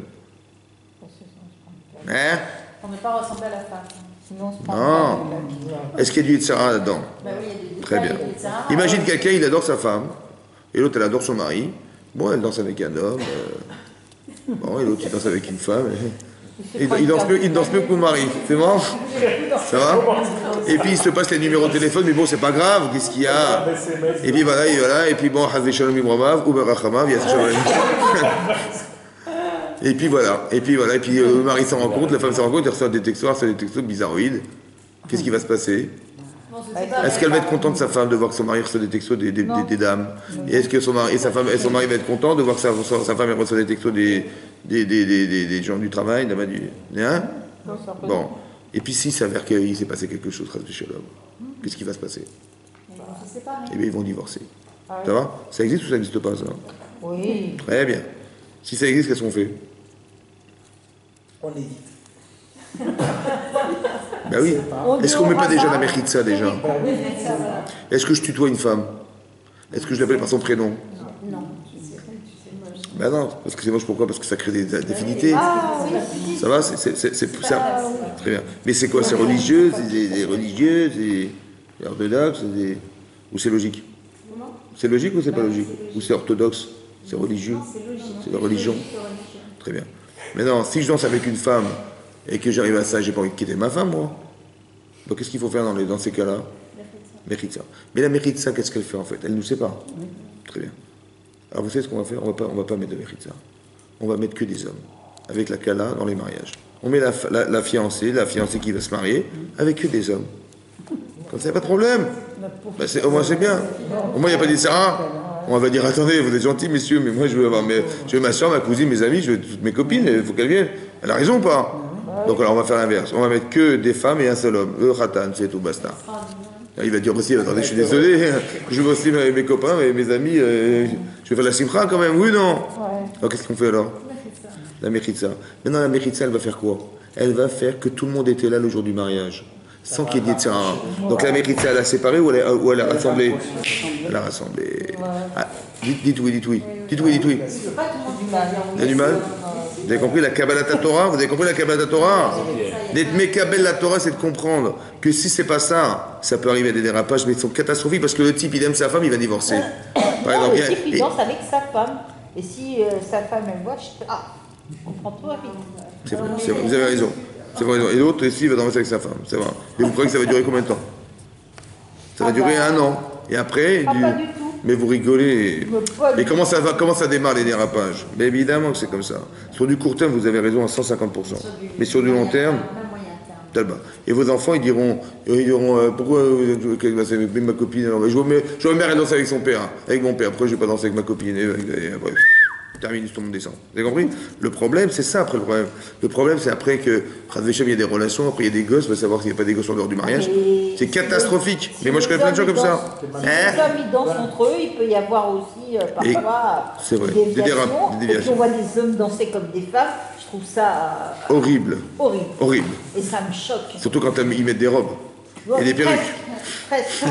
Le rapprochement va. C'est vrai, c'est vrai, c'est vrai. Mais bon, Baruch Hashem, tout va bien. Quand c'est dans les esprits de Torah, il y a de la Gdusha, madame. Ça va Est-ce que les gens ils vont penser à des trucs bidons comme ça, d'homosexualité, des trucs. euh, Dans la Gdusha de la Torah, vous croyez un truc C'est comme je dis, euh, je vous donne un exemple très simple. Est-ce que vous faites un bon repas Shabbat Allô Bah, Ou vous avez comme d'habitude Comme d'habitude. d'améliorer. Une omelette avec euh, et- et des deux œufs au plat avec une petite salade. Non, on fait toujours des efforts. Vous n'avez pas, peur- vous n'avez pas peur que de- dès dimanche, je dis tiens, on, s'est bien, on a bien kiffé, on va continuer dimanche, lundi, mardi, mercredi, jeudi, on va manger que des repas de malades Vous n'avez pas peur de ça? Ah non, non, non. Pourquoi? Vous savez pourquoi? Parce que la doucha du Shabbat, vous avez compris? C'est- N'ayez pas peur. Parce que vous savez pourquoi vous l'avez fait. Mais qu'est-ce que ça a à voir avec la semaine? Ça n'a rien à voir avec la semaine. Pourquoi vous croyez, vous croyez qu'il y aura des dérapages? Il n'y a pas de dérapage dans la doucha. Il y a des dérapages quand on n'est pas, on est un peu vicieux. Ça va, un peu débile. C'est ça qui est dérapage. Un type, il peut danser avec une femme, à quoi il pense Ça fait- Il est gentil. C'est ce que nous, on penserait. Une fois, le Rapito, il a dit ça. Il a dit, il a dit comme ça, il y avait un mariage qui était comme ça, un peu mélangé. Et les types, ils dansaient tous avec la Kala. Et ils dansaient tous avec la bonne femme, euh, elle avait euh, dos nu, machin, un truc. Ils lui ont dit, ils ont, il a pris à part, il dit, quand tu as dansé avec elle, à quoi tu pensais? Vous avez compris? Ouais, ouais. Il n'a pas dit oui, hein, les Shem Shemaim. Vous avez compris le problème? Les idées qu'on a là-dedans. Mais c'est comme ça, que vous croyez. Mais là, sauce tomate. Ça veut dire qu'on se protège de ça. Ça va? Donc là, ta Torah dit fais gaffe. Comment? Et si on dit C'est moche, c'est moche. moi je Hein? vais carrément au rabbin, Comment? du mariage, et euh, je lui dis si jamais il me trompe, c'est ce que je fais. Et 2 millions d'euros. Eh ben, je peux vous assurer que ça peut. Ça peut... Il a rigolé. Est-ce qu'on a, rabbin. est-ce qu'on a besoin de ça? Bah, Est-ce qu'il vaut, mieux économiser 2 millions d'euros et être clair dans la Torah Ah oui, mais Ah, voilà. Parce que ça va apprendre. Quand vous avez peur de perdre, vous avez peur de perdre. Mais vous, on doit avoir peur de perdre son mari ou sa femme. Non, mais Donc euh, la peur de perdre eh ben, nous si permet de... il embrasse, je plaque. Je peux vous assurer que ça met, ça met bien les choses dans, dans l'ordre. Vous avez, vous, avez, vous avez raison, mais qu'est-ce que vous avez gagné? Vous avez gagné que vous avez mis des limites. Il a peur, mais est-ce qu'il a compris? Bah non, il n'a pas compris. Voilà. Et, et- C'est ça, son et si vous tournez le dos, qu'est-ce qu'il va faire? Et si vous ne saurez jamais, qu'est-ce qu'il va faire? Ah non, parce que la femme, a un sixième sens. Ouais, bien sûr, le dimanche. Ça va Donc si vous ne saurez jamais, il va, il va, il va de Sarah. Mais la Torah, elle, pro- la Torah, elle propose des solutions. Ah oui. Il n'y a pas besoin ni de taper les gens, ni d'aller- de mettre des 2 millions d'euros, c'est pas besoin. La Torah de Tavline, la Torah c'est un remède. C'est ça que je vous explique depuis tout à l'heure. Remède Tavline. Tavline c'est une épice. Tavline. Natati, il est marqué Barati, Barati, Barati Yetzera. Barati, j'ai créé le Yetzera parce que Barati, Baratin, c'est un peu pas. Yetzera. Baratilo, je lui ai créé Torah Tavline, la Torah qui est un remède au Yetzera. Ça va C'est ça, c'est ça. Il faut se construire dans la vie. Ça veut dire, c'est ça que c'est construire. Quand vous apprenez des choses, il faut adhérer. D'être echad, ça veut dire d'être echad, ça veut dire j'ai la connaissance, mais je fais corps avec la connaissance. Ish echad. Ça va Pas dire oui, bah, il y a la religion et il y a la vie. Ça va, il faut pas tout mélanger. Non, il faut que ta vie fasse partie de ce que tu conçois. Pourquoi? Parce qu'il n'y a pas de religion. Ça n'existe pas la religion. Vous croyez que Dieu il avait Torah pour ça religieux Il y a des- Non Il y a des gens qui ont la connaissance et qui ne veulent pas faire corps avec la connaissance. Mais c'est ça le problème. Mais c'est ça le problème. Mais en vérité, la, la religion juive n'existe pas. La, la Torah, c'est la cohérence. On dit la religion juive parce qu'il y a et la religion chrétienne. Mais est-ce qu'on est, on est, est-ce qu'on dit religieux Ça n'a aucun sens religieux. On est des gens cohérents avec la Torah, c'est tout. Il faut être cohérent avec la Torah. C'est-à-dire qu'on vous a dit faites les mitzvot, vous allez voir ce que vous allez gagner, vous allez voir ce que vous allez perdre, vous allez voir. C'est pas c'est comme ça. C'est de la cohérence, ça va? C'est de la logique. C'est de la logique. Ça veut dire qu'on vous. Il y a une logique dans la mitzvah. Il y a aussi un côté en fait, qui est peut-être mystique, parce que c'est vrai qu'on adhère à des choses euh, qui nous ouvrent des portes qui sont in- infinies, donc ça veut dire qu'il y a quelque chose de très fort derrière, ça va? Et cette puissance-là, elle vient de la Torah. Ouais, c'est ça le remède, la Kabbalah Torah. Hachem, qu'est-ce qu'il a dit? Le premier commandement, combien il a dit de commandement, Hachem Regardez, ouvrez la page. Ouvrez la page. Oh, oh, oh, oh, oh, aïe, aïe, aïe, aïe, 434. 434, donc je suis dans le 20e chapitre de la paracha d'Itro. 20e chapitre, 20. 20 sur 20. Alors regardez. C'est marqué là-bas, Pasuk. Vous avez trouvé? Vaïdaber Elohim, et kol hadevarim haele les morts. Vous avez trouvé? Vaïdaber Elohim. A dit Hachem, et kol hadevarim. Toutes ces paroles. Aseret adibrot, c'est les dix paroles. Ça va? Il a dit toutes les paroles, Aele, celle-ci, les morts en disant. Alors, Hachem Elokecha, je suis ton Dieu, Asherot Setira Meres Misraim, qui t'ai fait sortir du pays d'Égypte. Ouais? Mibet Amadim de la maison des esclaves. Après. Le deuxième commandement, il n'y aura pas d'autre Dieu que moi. Ouais Lo Taslecha Pesel Lekol Timuna. Tu ne feras pas des statuettes et des machins, etc. etc. Il y a eu combien de, combien de, de commandements Dix commandements. Regardez Rashi. Regardez Rashi. euh, quatre lignes avant la fin du Rashi, colonne de gauche. Regardez Rashi. Et Kol Hadevarim Haele. Vous avez vu ou pas? Regardez la page 434. Donc au début du 20e chapitre, il y a un Rashi en, en- en bas. Vous avez vu en bas Rashi Voilà. Rashi, il a celui-là, le- en- juste en dessous le texte. La colonne de gauche. Quatre lignes avant la fin du texte. En gras, c'est marqué Et Kol Hadevarim Haele. Vous avez trouvé Vous avez des lunettes Tout le monde va bien Très bien. Melamed, Melamed, je vous lis Rashi. Melamed, ça, Melamed, ça veut dire quoi Ça nous enseigne. Melamed, nous enseigne. Lomed, apprendre. Melamed, enseigner. Chez, chez Amar Akadosh Baruch Hu, qu'a dit Akadosh Baruch Hu, Aseret Adibrot, les dix commandements, Bedibour Echad. Dans un seul dibour. Il a dit 10 en un. C'est ça qui est marqué dans le texte. Va d'abord Elohim et kol adevarim. Et kol adevarim. Toutes ces paroles. Et Rachid explique quoi toutes les paroles. Il a dit les 10 en une. Mais non. Ma, je continue Rachid. Je continue Rachid. On est dans la troisième ligne avant la fin du texte de Rachid. Ma chez Efchar. C'est qui est impossible à Adam, pour l'homme, le marqué de nous dire ainsi. Est-ce que vous pouvez, est-ce que vous pouvez, est-ce que vous pouvez dire dire sans un? Très bien. Donc c'est le seul qui a pu faire ça, c'est qui? C'est Hachem. Très bien. C'est ça qu'il a dit. Vaidaber et Elohim et kol. Toutes les paroles. Il a dit, Rachid explique, il a dit 10 en une. Est-ce qu'on a compris quelque chose? Non. Très bien. Imken, si c'est ainsi, demande Rachid. C'est-à-dire Rachid fait Midrash. Ma Talmud Lomar. Qu'est-ce que le, Talmud nous enseigne Od encore. Anochi velo ilecha? Après qu'il ait dit toutes les paroles, dans le texte de la Torah, c'est marqué Anochi Hashem Elokecha. Mais il a déjà tout dit déjà. Pourquoi la Torah elle répète ce qu'il a déjà dit? Alors Rachid expliquait, Rachid dit que quoi, Imken Amanema, euh, etc. Chez Po- ou Piresh? Chazar, il est revenu à Hachem, et Piresh, il a expliqué, Et Kol Dibour Vedibour, chaque parole qu'il avait dite à 200 km/h. 250. Il a dit. Il a dit 10 paroles en une seule parole. Vous avez compris ou pas? Après, il dit Vous avez, vous avez compris ce que j'ai dit? Non. Alors, je vais vous expliquer. Alors, Hachem, il a expliqué chaque parole qu'il a dit. Pourquoi il a fait ça? Il l'a fait, fait comme ça. Après, il a dit Anochi Hachem, Elokecha. Pour montrer peut-être que c'est possible d'accéder pas, pas comme lui. C'est possible ou c'est pas possible Ah, c'est pas Pas possible. Très bien. Partie du principe, logique. Est-ce que c'était possible de comprendre Non. Très bien. Peut-être ça veut dire que c'est pas possible. Alors je vais vous expliquer. Mais ça dépend de vous. Ça dépend de vous. De pour que ce soit possible. Ça veut dire que maintenant, Hachem, il a tout dit en une parole. On est capable de penser en euh, euh, 10 en un Non, non. La Torah est inaccessible. Parce que c'est comme ça que je raisonne. Par exemple, imaginez-vous, ça va Hachem. Il s'occupe de moi là maintenant là? Oui. Mais il voit en même temps qu'il me voit, il voit des milliards de personnes. Il solutionne des milliards de personnes, pas seulement sur l'instant T, mais par rapport à 50 millions de générations derrière. Il y a des calculs, des calculs, et nanana, et voilà, il faut qu'il ait ça, l'autre il a ça à cause de sa grand-mère qui a fait ça, des calculs de malade mental. Ça va? À la seconde où je vous parle? Bon, est-ce qu'on a le même cerveau? Est-ce qu'on a le même cerveau non, tout. D'accord. Mais la Torah, c'est ça la Torah. Ça va Maintenant, Hachem, il dit, c'est-à-dire, on va rien comprendre.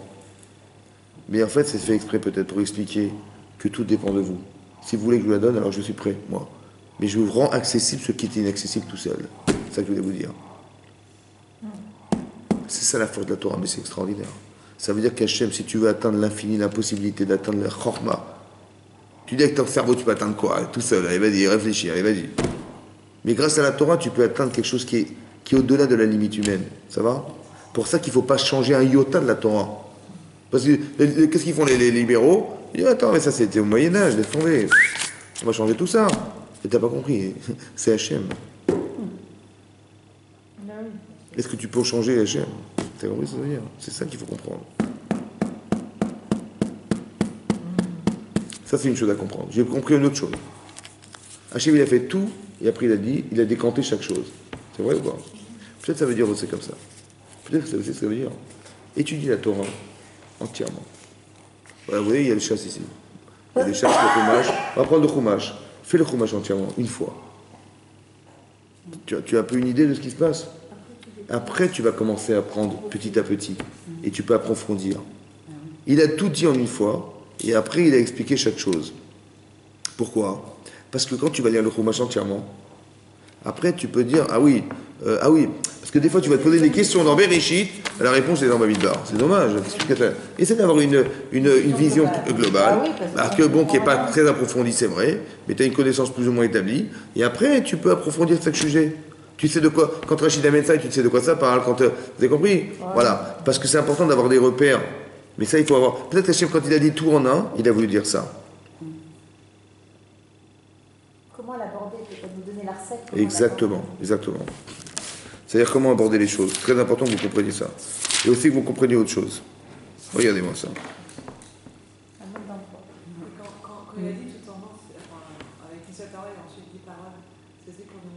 que que Exactement ça.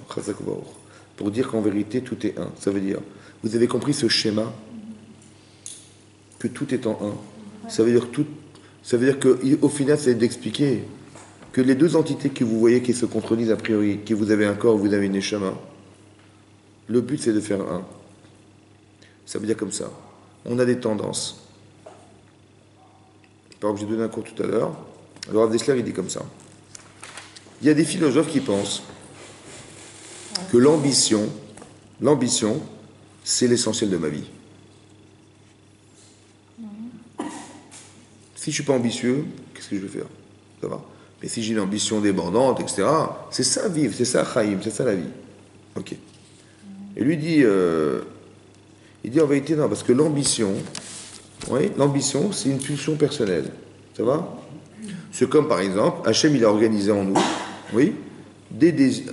Par exemple, quand je suis affamé, quand j'ai soif, oui, ce sont des manques. Mais c'est des manques qu'Hachem, il a mis en nous.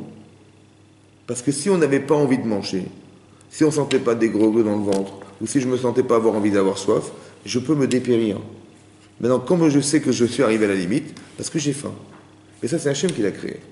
De la même manière que j'ai faim de manger, j'ai faim d'avoir. J'ai faim de devenir. J'ai faim de. Bon. Mais la différence entre un animal et un homme, et un être humain, c'est comme ça.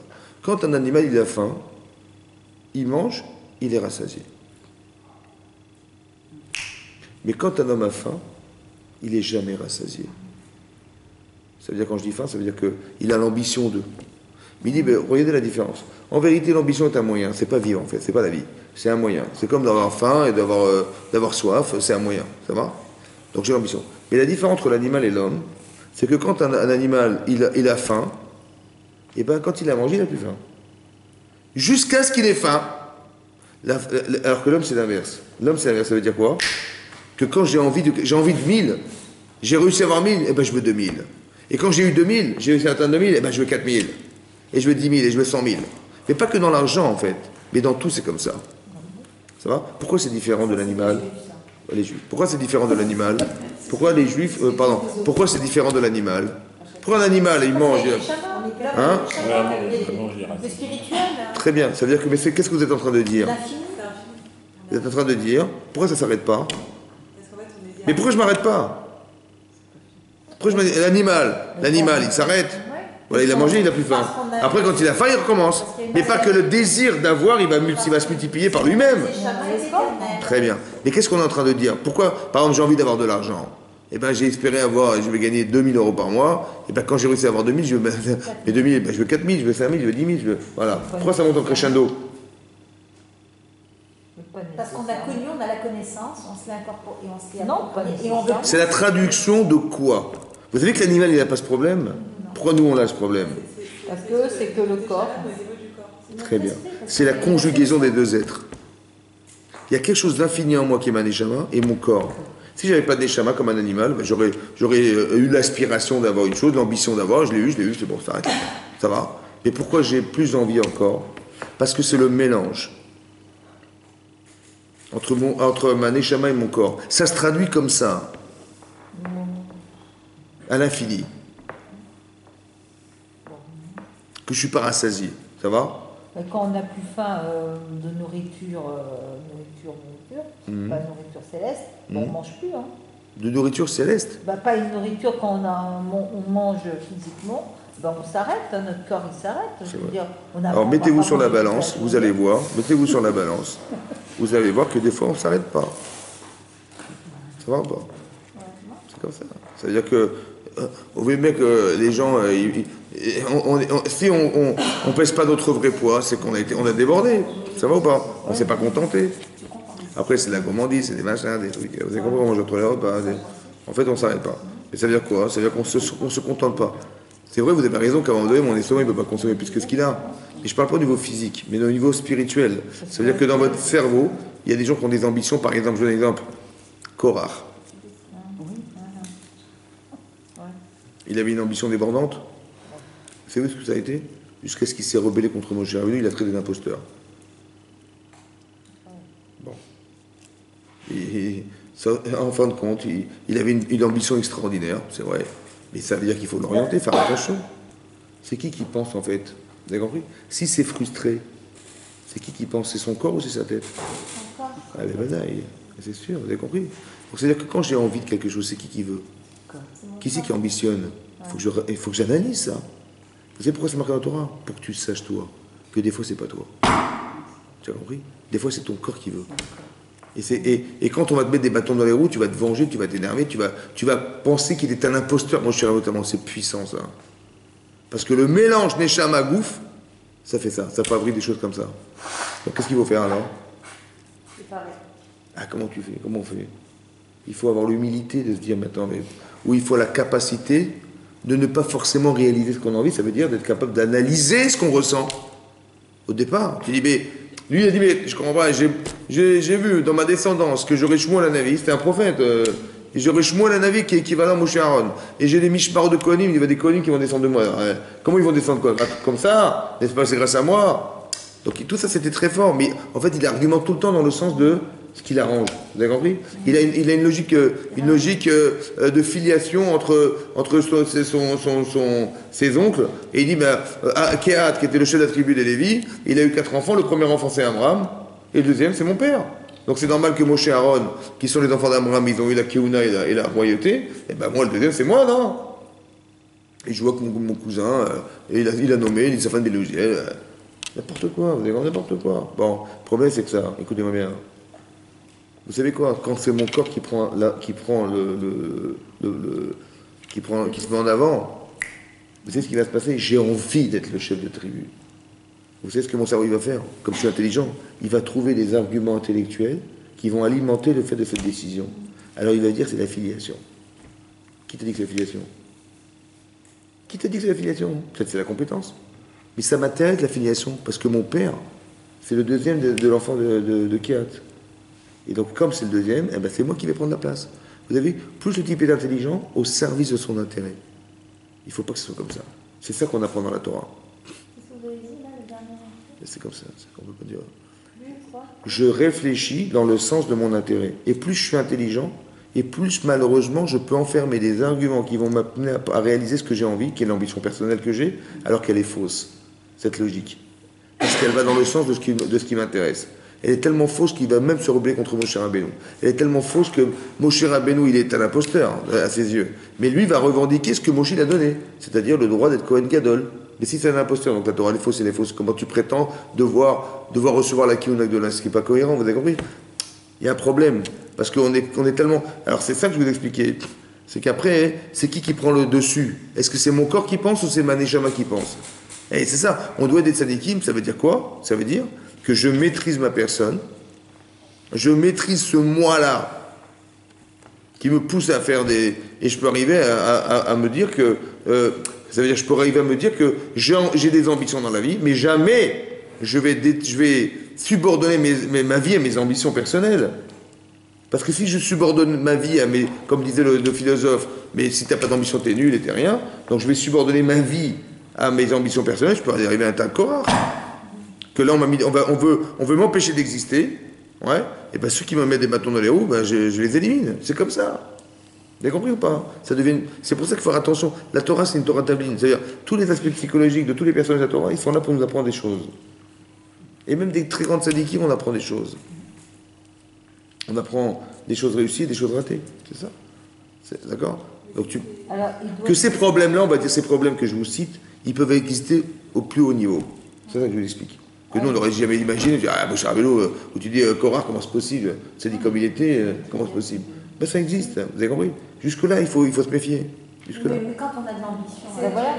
Ah Dites-le, dites-le alors. Bah oui. et- Quand on a de l'ambition C'est gênant quand on a une ambition euh, sans frein, qu'on a envie d'arriver à quelque chose, un objectif. Ne jamais subordonner le, Subordonner l'intellect à. ne jamais subordonner le résultat à votre ambition. Si vous avez réussi, tant mieux. Et sinon, vous avez été plus forte que ce que vous espériez être. Mais vous avez autre chose à faire dans votre vie. Ça va? Et parce que les gens qui vont s'opposer à ce que vous êtes, vous allez, vous allez les haïr, parce qu'ils vont mettre des barrières, etc. Mais c'est peut-être Mina Shamaïm, vous comprenez ou pas? Ne jamais subordonner, c'est ça que je vous n'ai jamais subordonné notre. Parce qu'en vérité, vous allez vous rendre compte que c'est pas vous qui raisonnez, c'est votre désir qui résonne pour vous. Et vous allez devoir intellectuellement le justifier pour ne pas souffrir. Parce qu'il faut atteindre votre ambition. Et ça, c'est pas forcément juste. Parce que c'est pas forcément ce qu'Hachem a prévu pour vous. Alors que moi, je suis sûr que c'est ça, c'est ça que j'ai envie de faire. Mais c'est qui qui a décidé C'est moi. c'est- vous avez compris Alors il faut se maîtriser. Et comment je. C'est ça qui est marqué Iséoul Gibor. Qui c'est qui est fort? Celui qui fait de la muscula Muscula Musculation. Non, celui qui est fort, c'est celui qui maîtrise son Yetzer. Maîtriser son Yetzer, maîtriser toutes les pulsions que j'ai. C'est-à-dire, j'ai compris et je peux dire à mon corps, parce que je suis chacham, que fais gaffe, parce que ce que tu vas faire, ça va t'amener là-bas. Laisse tomber. Je suis capable de dire à mon corps, laisse tomber, c'est pas pour toi. Ou de dire à mon corps, vas-y, fonce, t'as raison. J'analyse ce que je ressens. Si c'est pour mon bien, parce que ça de l'avenir, je lui dis, vas-y, fonce. Et si je vois que ça n'a pas d'avenir, j'arrête. Tu C'est comme la cigarette. Il y a des gens qui vous disent, moi je fume, c'est pourquoi je fume Ça me calme. Quand je fume, ça me calme. C'est un effet incroyable. Je fume, ça me calme. Je dis, Razak. Bon, mais si ça te tue avec, tu, ça va, tu vas, tu un type qui va mourir, calme. Ça va Pourquoi tu proposes des choses qui vont te tuer? Parce que tu veux te calmer. Essaie de réfléchir où ça t'amène. Tu dis, ah, ça va, je vais m'arrêter un jour. Je fume, bah, c'est bon, ça va même 2-3 ans, ça va, je peux m'arrêter. Et tu vois, les types, ils s'arrêtent pas. Du moins, mais eux, ils savent pas s'arrêter, mais moi, je vais m'arrêter. T'es sûr? T'es sûr? Pourquoi tu prends le risque de prendre quelque chose qui est dangereux pour ta santé? Réfléchis. C'est pareil, vous avez compris Tu fais des choses qui sont dangereuses pour ta vie. Ta, ta vie spirituelle, ta vie, ta santé personnelle. Pourquoi tu fais ça Mais tu sur le court terme, c'est super sympa. J'ai compris, mais regarde sur le long terme, sois chacham. Vous compris Cette façon de penser, c'est c'est la Torah qui nous permet d'y accéder. Regarde pas l'instant premier. Parce que des fois, c'est bien, c'est super. La verra, c'est toujours super au départ. Dans ce que je fais, je gagnais. Mais essaie de comprendre que maintenant que tu investis dans un désir négatif qui va t'amener à avoir cette addiction à la verra, bah, va t'en débarrasser maintenant. Allez, vas-y, respire, allez, vas-y. Compris? Regarde sur le long terme. Peut-être des fois, il vaut mieux s'en séparer tout de suite pour ne pas rentrer là-dedans. C'est comme la cigarette. Mais, oh, ne, ne touche même pas. Tu dis, mais ça me calme. J'ai compris, il va te calmer autrement. Va, va, faire du sport. mais pourquoi tu, fais des, pourquoi tu décides de faire des choses qui vont, arri- qui vont arriver à t'amener à des, à des situations difficiles à vivre? Pourquoi? Tu n'es pas obligé de faire ce que tu penses, ce que tu ressens. Euh, réfléchis, ça va? C'est ça, là. C'est ça, tu auras ta vie, vous avez compris Le tsara, il dit, mais non, vas-y, fais-le, fume, vas-y, fume, ça détend-toi. Et en fait, en fin de compte, je me rends compte que je me rends malade, quoi. Ça va Non, tu n'es pas obligé de proposer des choses qui, sur le long terme, vont, être problème pour toi. Analyse. C'est pareil. La Vera, sur le court terme, c'est super. La Vera, c'est toujours super sur le court terme, mais jamais sur le long terme. C'est pour ça qu'il faut avoir, il faut être racham et dire à son corps, ok, tu vas gagner tout de suite, mais regarde ce qui va se passer, regarde ce que tu vas, tu veux, tu veux que ça continue comme ça? Non. Tu vas avoir des poumons de fumeur. Tu veux qu'ils ressemblent à ça tes poumons Non. Arrête-toi. Tu as raison, arrête. C'est une façon de se parler à soi-même. Mais je parle à mon corps, c'est moi qui domine. Parce que j'ai la chorma derrière, j'ai la connaissance qui va avec. Et donc je suis un avec moi-même et je suis capable de dire à mon corps oui et des fois non. C'est pas lui qui va dicter ce que je pense. Parce que Korach, c'est son corps qui lui a dit vas-y, va te rebeller contre Moshe Rabbeinu. Parce que si tu vas arriver à la satisfaction d'être le chef de la très haute, c'est est plus fort que tout. Alors il va tout, son intellect, il va pas vouloir qu'il souffre et donc il va vouloir lui faire croire que bah, la solution, c'est que tu es obligé de dire que Moshe est un imposteur. Comment tu veux faire autrement? Mais c'est pas toi, c'est pas ton corps qui décide. C'est pas tes intérêts qui décident, c'est toi qui décides. Est-ce que l'intérêt, il est nécessaire ou pas? Bah, Je dis, bah oui, bah, si je suis chef de la tribu de Kel, c'est magnifique, j'ai compris. Mais c'est trop grand pour arriver à ça, tu dois te rebeller contre mon chariot, contre le bon Dieu, contre tout. Oh Tu as compris? C'est ça qu'on apprend. C'est ça la Torah. Il faut être mécabel, cette Torah-là. Tu vas tout gagner, mec. C'est ça qu'avait la Torah. D'accepter la Torah, c'est accepter ça. Mais- Mais non, si Hachem nous a créé, Hachem nous a créé ou pas? Et les la Torah, elle est adaptée à l'homme ou pas? C'est pas la chose la plus adaptée à l'homme, puisque c'est lui qui l'a créé et c'est lui qui nous a créé. On peut faire mieux Vous pouvez faire mieux, vous Donc il faut être voilà. Excusez-moi, vous dites que si on ne cède pas à la Vera, c'est notre, c'est la Neshama qui a pris le dessus, c'est ça sur le- Et bien évidemment. c'est quand vous apprenez la Torah. l'esprit, quoi, la En vérité, en vérité, je vais vous dire une chose. Tout ce que vous avez compris, c'est ce que vous saviez déjà. Seulement, ça avait été oublié. Mais non, cette potentialité de connaissance, elle est en vous. Maintenant, quand vous, reprenez, le texte et vous accrochez Hachem et vous dites, mais non, j'ai pas compris, je veux maîtriser les choses, je veux que ça, me pénètre et je veux tout ça, Hachem vous le donne, c'est Matana. Mais ça dépend de l'acceptation de la Torah. Le degré que vous atteindrez, il est comme ça. Par exemple, un exemple très simple, vous allez comprendre. Un jour, Rabbi Shimon Bar Yochai, il a dit du mal du gouvernement de Rome. Ça va? Qu'est-ce qu'ils ont décrété, messieurs? Ils ont dit, ben, il faut le condamner à mort. Qu'est-ce qu'il a fait Rabbi Shimon Bar Yochai? Il s'est sauvé au Beth Midrash. Bon, et là, il a vu que sa femme lui amenait à manger tous les jours en cachette. Il a dit, bon, ils vont sûrement, euh, ils vont l'attraper, ils vont la torturer. Et, et donc, il a dit à son fils, il est retour, on va, on va éviter tout ça. Ils sont partis dans une grotte. Avec quoi ils sont partis? Sans rien. Hein? Ils ont pris des valises? Sans rien. Ils ont pris à manger? Non. Non, d'où vous le savez Bah, Hein? Vous savez, parce que c'est marqué dans la Gemara, que ils ont dit, on va retirer nos vêtements pour ne pas les salir et ne pas les user pour prier. Non, pour prier Hachem tous les jours. Il ne faut pas prier avec des vêtements usés. Alors qu'est-ce qu'ils ont fait? Ils se sont mis tout nus. D'accord? Et euh, on est tous dit comment on va faire? Eh bien, ils sont enterrés dans la terre. Si je vous dis, tiens, on n'a pas de vêtements, qu'est-ce qu'on fait? Eh ben écoute, je sais pas, bah, c'est pas grave, on prierait avec nos vêtements, qu'est-ce que je te dis Mais non, il y a une solution. Laquelle Bah tu t'enterres. tu t'enterres dans la terre. Ah nourris. Hein Il dit, mais on n'a rien mangé carreau. bah, Hachem, il a, mis- il a mis une source d'eau et truc. D'où je sais qu'il n'avait rien mangé, parce qu'Hachem, il est obligé de faire un miracle. Bon. Mais il a réfléchi ou pas avant de partir je vais envoyer. Quand vous partez en voyage, vous partez comme ça ou... euh, Ben non, Il a réfléchi ou pas non. Pourquoi La la émouna. Non. Non, Vous voulez pas ébruiter, il voulait pas. On ne réfléchit pas de la même manière. Vous avez compris Ah bah oui, ça veut dire que-. Il n'y a que la Torah dans sa tête. Il n'y a que la Torah. Maintenant, comme il n'y a que ça, Hachem, il est obligé de le faire. Vous avez compris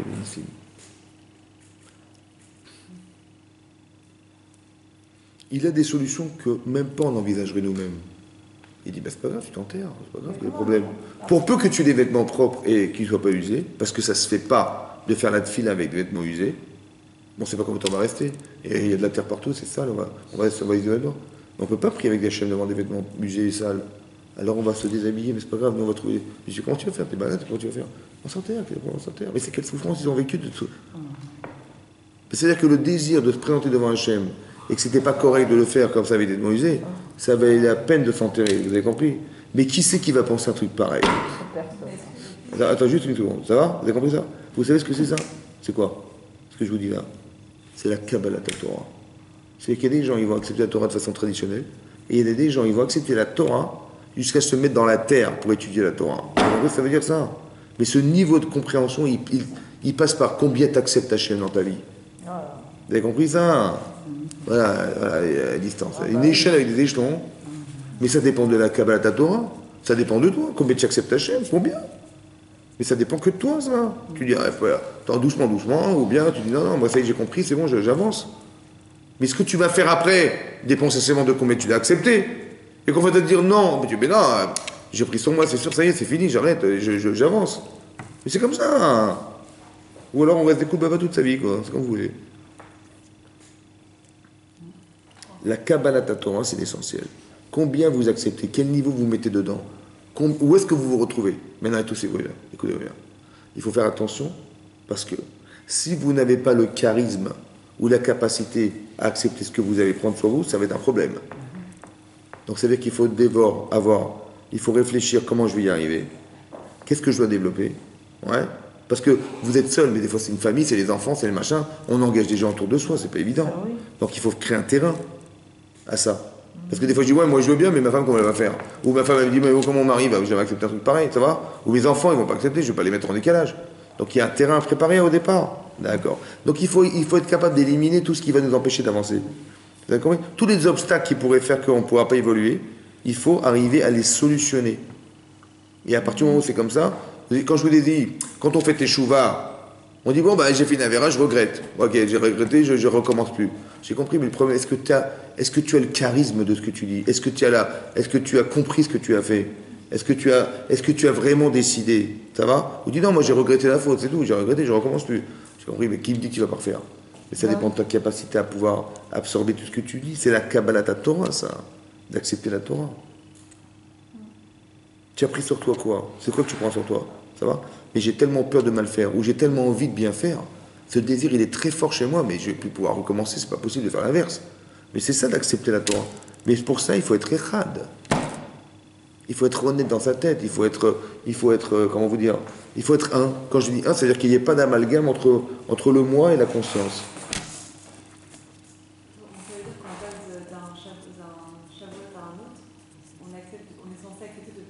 Eh bien, évidemment, évidemment, évidemment. Mais vous savez comment ça va se passer? Quand vous allez avoir l'amour de la Torah, ça va monter en crescendo. C'est ça la force de la- de, de l'être humain. L'animal, il a mangé, il a plus faim. Mais vous, vous allez voir que les mitzvot, quand vous allez en faire et une, et deux, et trois, et quatre, vous avoir un désir de mitzvah qui va vous donner l'ambition d'en faire d'autres. Et l'inverse aussi est vrai, malheureusement. Ça va? On peut s'enterrer avec des avérotes. Parce que le désir de l'Avera, il va entraîner une spirale d'Avera et d'Avera d'Avera. Ça va? Parce que le désir de l'Avera, vous allez me dire, ah mais comment j'ai fait ça, je suis bête ou quoi? Mais bon, j'ai le désir. Après, après coup, euh, ça remonte et ça repart. Vous avez compris? Cette spirale-là, elle est infinie. Jusqu'à ce que j'ai compris que je ne dois plus désirer ça parce que parce que c'est mon désir qui m'a poussé à faire ces bêtises. Mais si j'avais regardé sur du long terme, j'aurais dit non, j'aurais même pas commencé. Sans, j'avais pas ou envie de penser à long terme, ou j'avais pas la capacité de le faire, ou je me suis pas rendu compte que c'était grave. Vous avez compris ce que je veux dire? Et c'est ça la chorma.